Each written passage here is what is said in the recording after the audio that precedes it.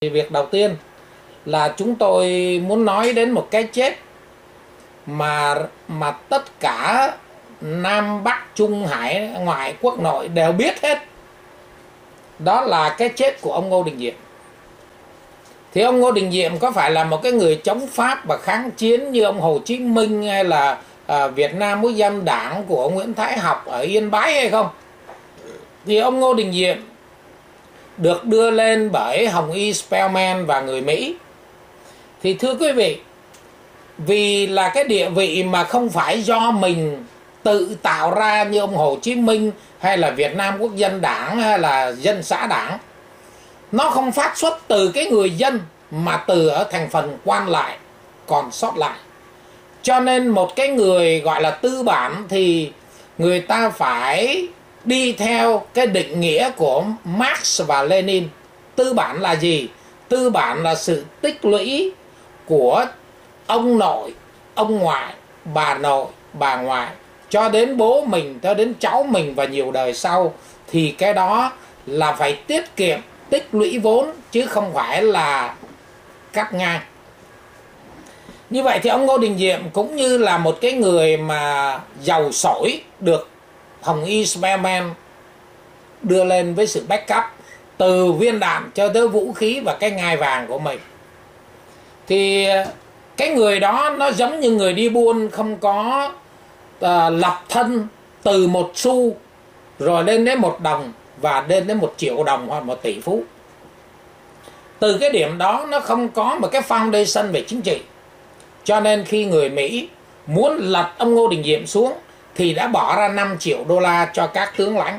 Mà người ta đặc biệt chú ý là tôi hỏi bác sĩ Lý Trung Dung tại sao người Mỹ lại chọn ông đại tướng Dương Văn Minh mà không chọn ông trung tướng uh, Trần Văn Đôn Tôn Thất Đính thì ông uh, bác sĩ Lý Trung Dung là chủ tịch Liên hiệp nghị sĩ Á Châu chống cộng là bác sĩ riêng cho ông Tổng thống Ngô Đình Diệm mà cũng nằm trong thành phần cố vấn. Ông mới cho biết là cái thời mà Bình Định ở phía trong miền Nam thì ông Dương Văn Minh đã thanh toán tất cả những thành phần còn lại ở trong ờ, ờ, rừng sát thì lấy được rất là nhiều chiến lợi phẩm tiền vàng bạc thì ông ấy đem về. Ông ấy mua bờ xô ca đơ sang tra rồi các uh, thuộc cấp ông thì nếu mà ông Ngô Đình Diệm là một cái người khôn ngoan thì ông sẽ gọi riêng cho ông Dương Văn Minh.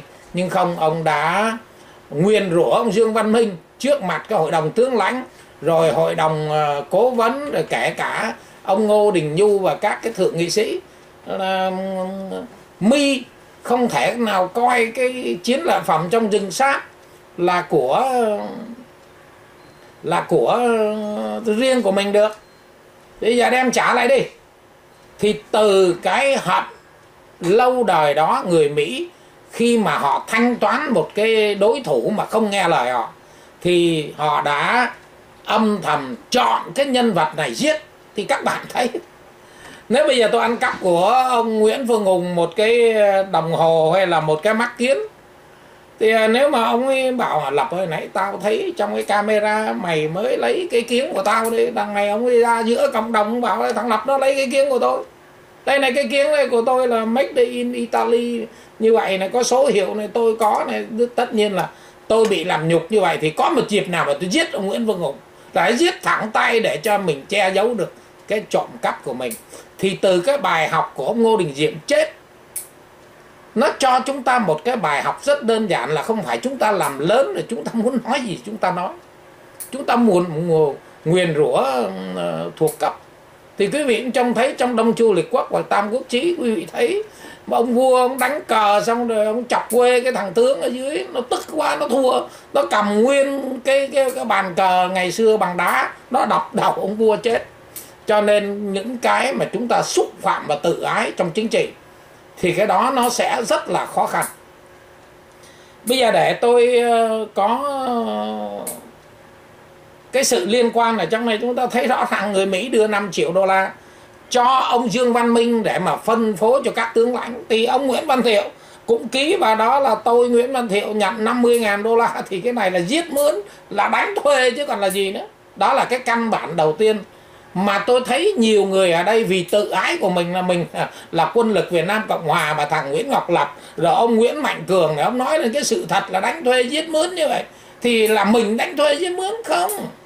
Nguyễn Ngọc Lập, Nguyễn Mạnh Cường khi mà trình bày vấn đề là là trình bày về dữ kiện và số lượng, số liệu.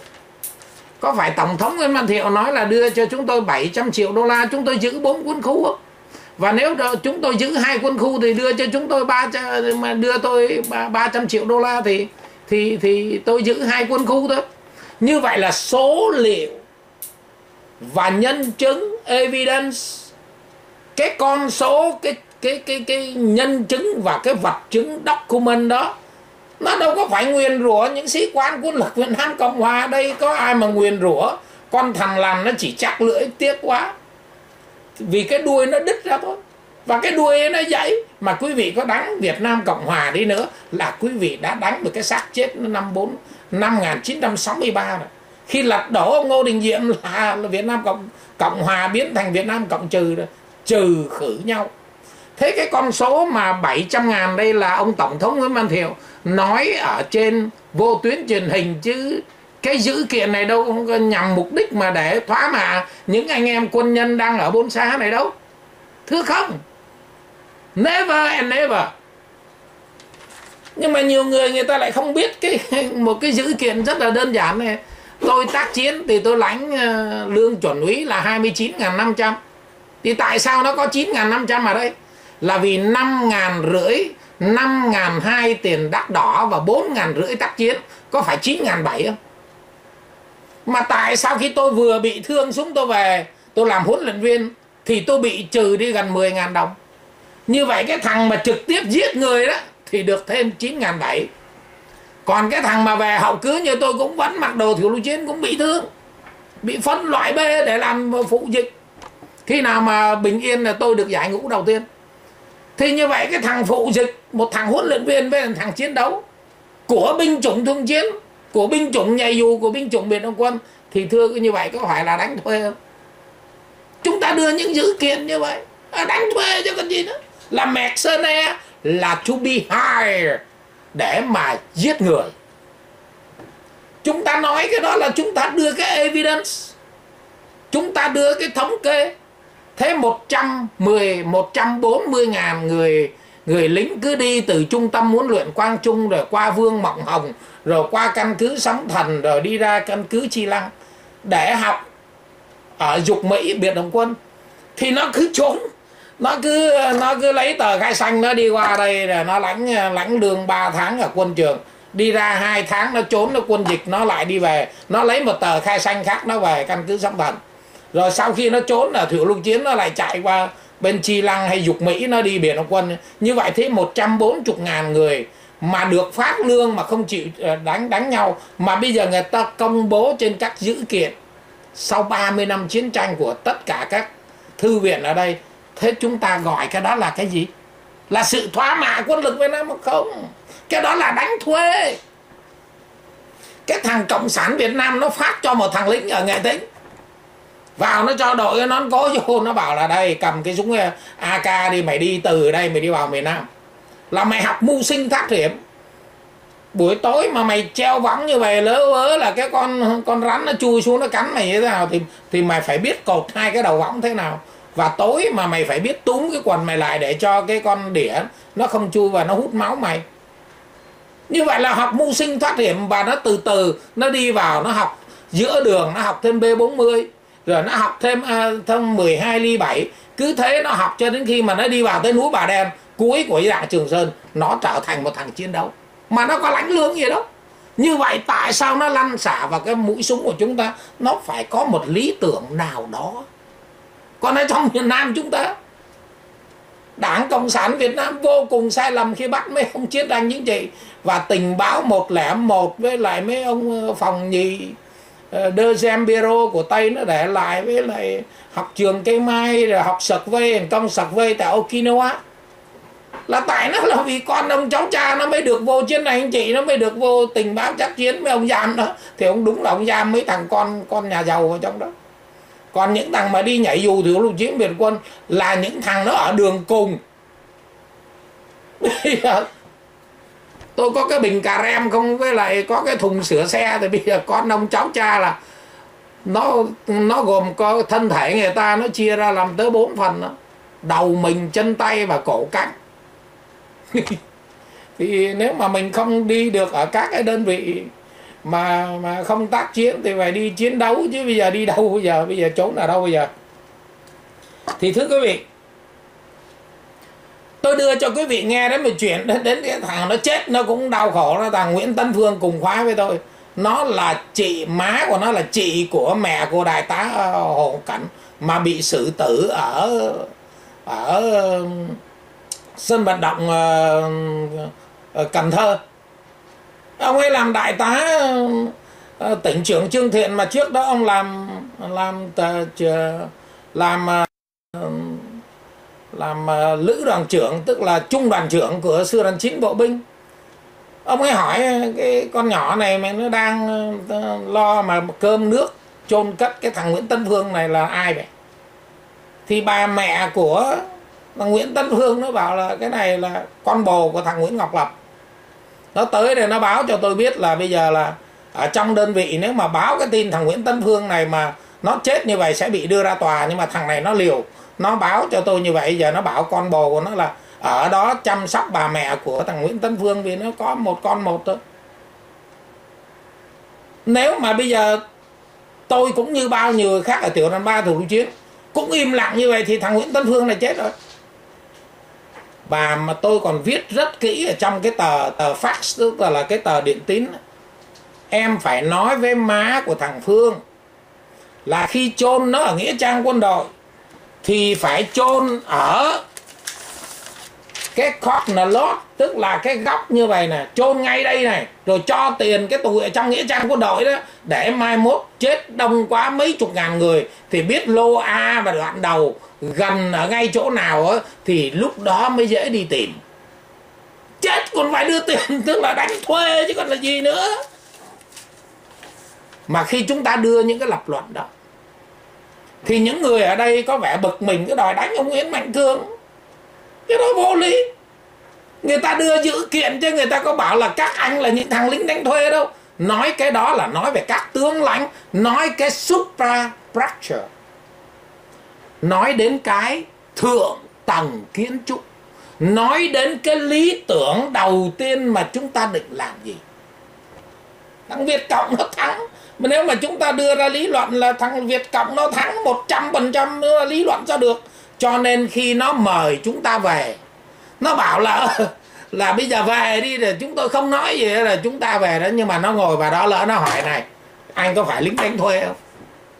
Nhưng mà thì nếu mà anh khôn ngoan, anh trả lời không, tôi chỉ là thuộc cấp thôi.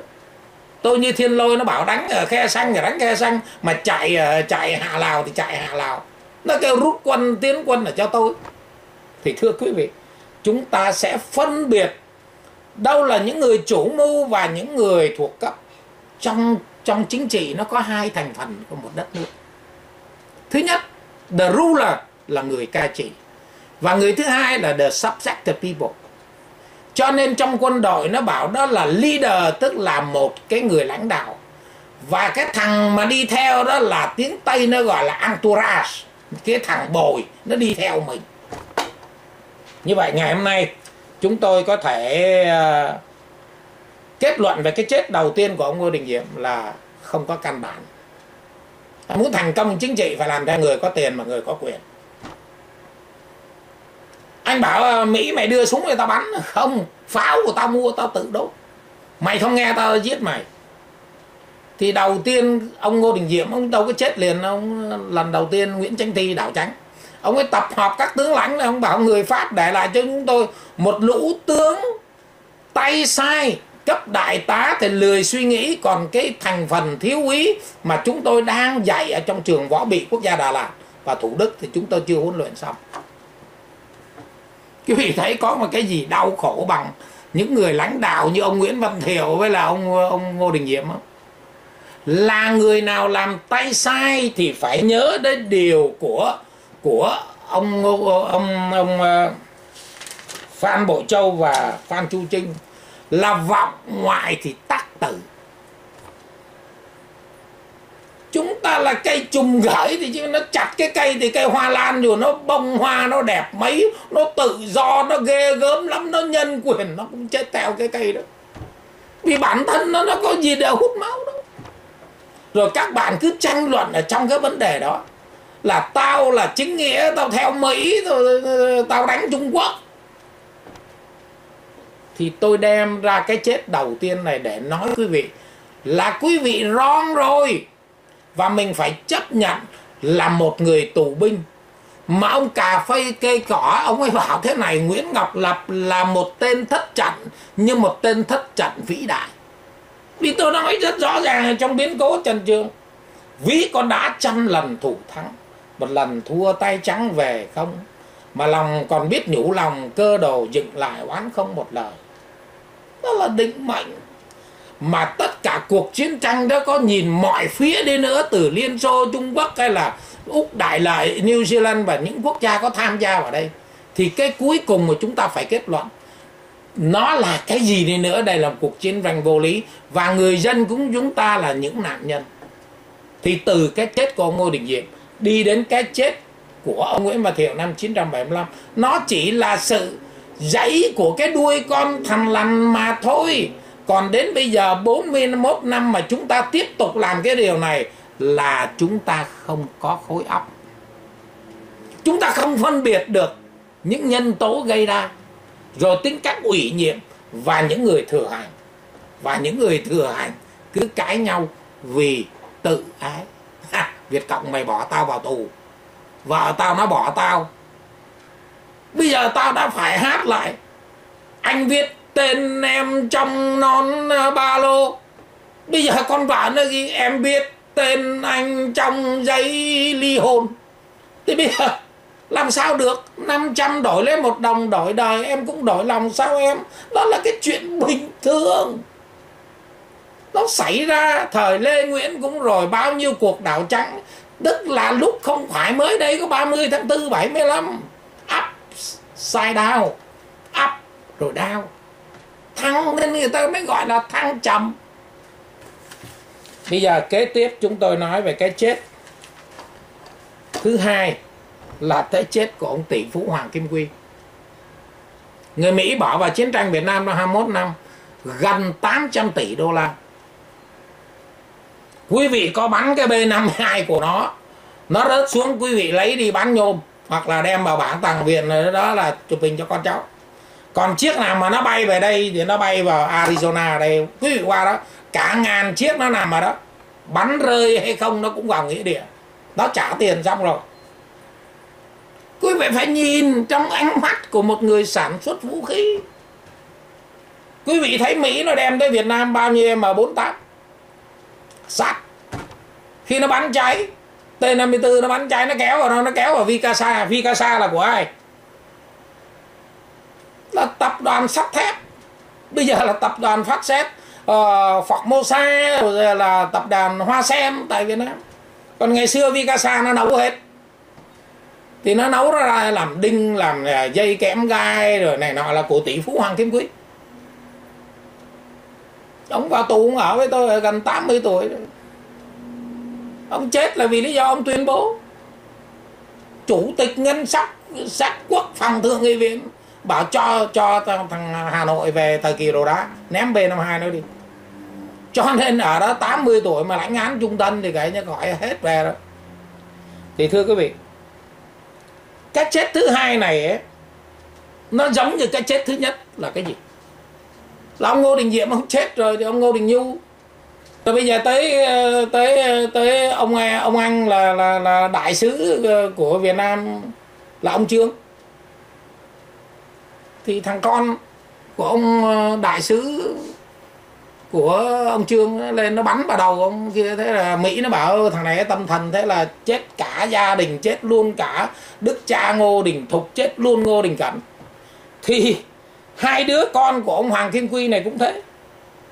Hoàng thị kim lan nó nó lợi dụng ông bố là tổng trưởng quốc phòng nó đi, nó gạt hết tất cả mấy ông tướng này, cuối cùng mấy ông tướng lên thưa với ông hoàng kim quy. Bảo con gái của ông, con tỷ phú nó lừa chúng tôi. Ông bảo, thôi, có liên quan gì cái chuyện đi lừa đâu. Tôi làm ăn mà. Tôi cưa sắt PSB ở ngoài phi trường để cho máy bay đáp xuống. Tôi lấy cọc sắt kém gai, tôi ép ra, rồi tôi cắt ra làm đinh, rồi tôi cho bán quý vị đi về Việt Nam, quý vị trông thấy ngay ở Hố Nai, xóm mới, ở trong ngay Sài Gòn. Ngay kế bên dinh độc lập, những cái gia đình mà nó có những cái đó, nó cũng lấy hàng rào thay vì đóng các cái các cái tiền đồn. Nó cũng đem về nhà, nó rào ở nhà nó. Mỹ nó thấy không? Nó thấy. Ông Hoàng Kim Quy này, ông có làm gì đâu. Thế là đứa con gái ông vào tù. Còn thêm một thằng Hoàng Kim Lân, con đâu nó là thằng này nó cũng giống như kiểu bây giờ là Ờ, bố làm nhớn ờ, ờ, nhà mặt phố. Ban đêm nó vào nhảy đầm Arc-en-Ciel Tu là là là international hay là là maxim vậy đó.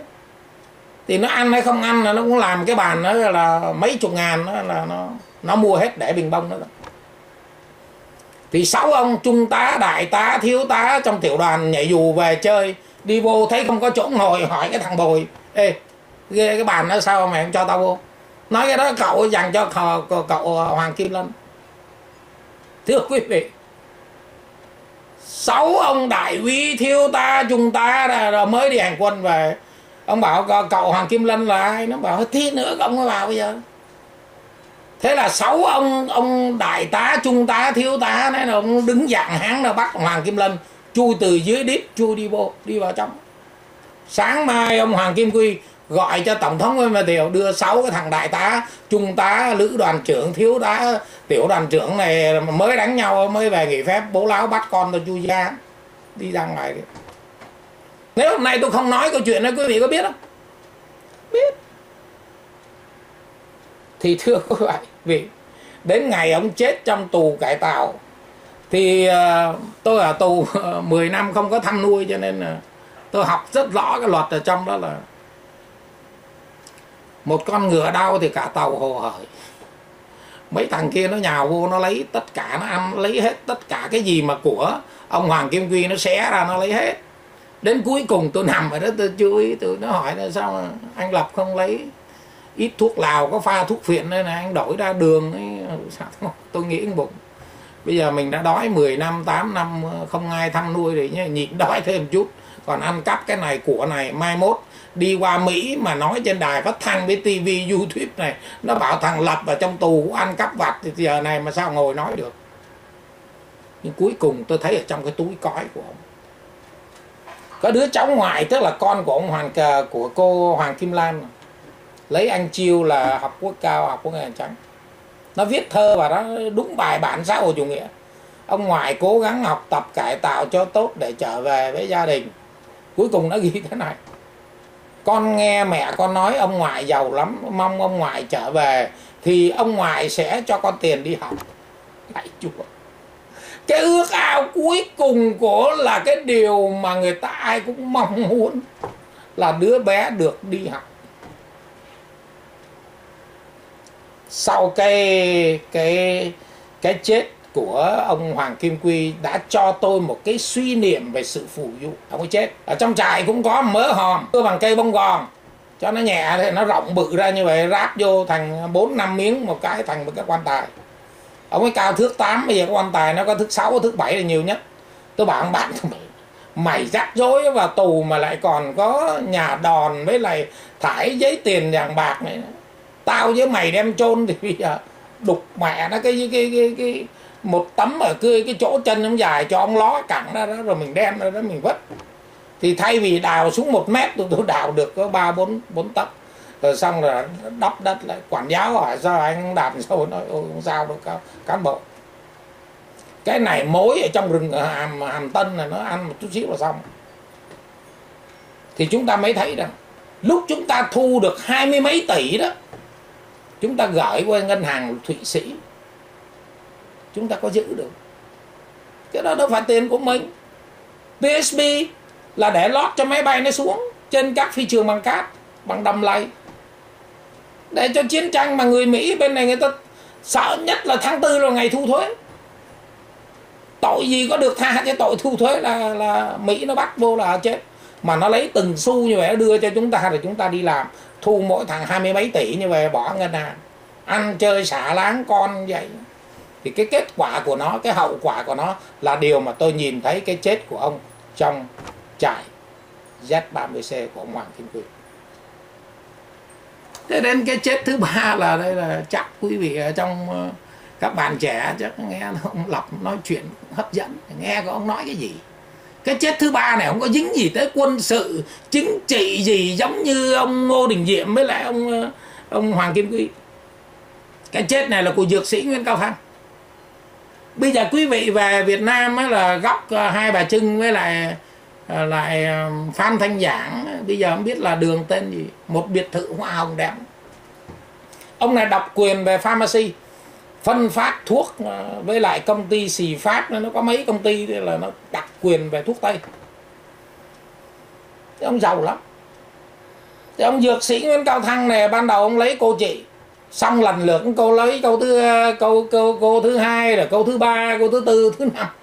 Năm chị em gái lọt vào tay tỷ phú nguyễn cao thăng, dược sĩ nguyễn cao thăng. Ông chùm với thuốc tây thì à, ba bà mẹ vợ bảo bây giờ cái năm đứa này là, à, là là nó cũng không giữ được ờ, ờ, cái thằng chồng nó là tiền nhiều quá về thôi. Bà mẹ vợ lấy luôn thằng con rể luôn tức là loạn luôn để năm đứa con gái lấy luôn bà mẹ là giáo đùng một phát ông đi khám bệnh biết ông bị ung thư thế là thay vì đi qua mỹ mỹ nó mòi ra à mày sao giao thuốc tây cho việt cộng ở rừng lá mày giao thuốc tây cho việt cộng ở tây ninh. Đây nè bằng chứng tao có này. Thế mày à, mấy chục tỷ đô la mà mày lấy được trong trong cái à, bán aspirin mày bán à, à, uh, uh, abc rồi mày bán những cái thuốc mà kháng sinh cho việt cộng tao có đây nè. Quý vị nghĩ việt cộng cái gì nó không biết. Thằng mỹ làm gì nó còn biết. Nó còn biết ai thù ngôi nhiễm nữa mà. Nó mướn người nó phải nghiên cứu thì thay vì qua đi Mỹ để chữa bệnh thì ông đi qua Ấn Độ. Trên đường về ông chết. Xe Fini Lamu. Tiền đổ sông biển. Còn còn năm bà mẹ chị em này nọ là từ đó về sau là thưa to thì tại sao ngày hôm nay tôi đưa ra ba cái nhân vật? Ngô Đình Diệm với lại ờ, lại lại Hoàng Kim Quy với dược sĩ Nguyễn Cao Thắng. Ban giác nói rất là nhiều lần và là một đại văn hào của thế giới nhà văn, nhà báo, nhà thơ là những thơ ký ghi lại những dữ kiện của thời đại. Để cho những người sau nhìn thấy đó mà hiểu được trong cái thời kỳ mà người Mỹ đi đến Việt Nam là một thời kỳ mà người Mỹ coi chính phủ Việt Nam là a puppet backup Sài Gòn regime được Mỹ hiểm trợ và giống như con búp bê, thì nó đẻ ra ba cái hiện tượng đó. Thì trong đời quý vị phải rút ra được một cái kinh nghiệm. Một cái thằng huấn luyện viên giỏi là một thằng preaching hoặc là một nhà truyền giáo nó mà giỏi thì chúng ta thấy nó có ba điểm này cần thiết. Thứ nhất là rút kinh nghiệm qua ba cái chết này chúng ta thấy cái gì? Ba thằng này là ba thằng ăn bám. Ngô Đình Diệm ăn bám về quyền lực.